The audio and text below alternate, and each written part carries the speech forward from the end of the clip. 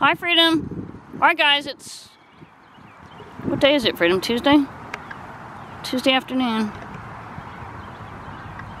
And we're at Jarvis Creek Park. Hello. Uh. And we got a beautiful alligator right here.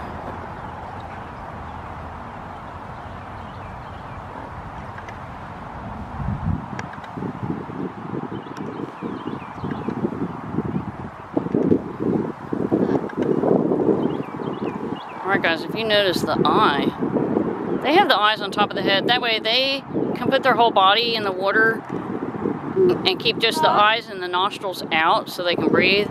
And that's how they can get their prey. They can sneak up on something, you know, whether it's a mammal swimming or uh, a fish or whatever, a turtle, but they can sneak up on them and they are, are, so well camouflaged in the water, you wouldn't even notice, right, Freedom?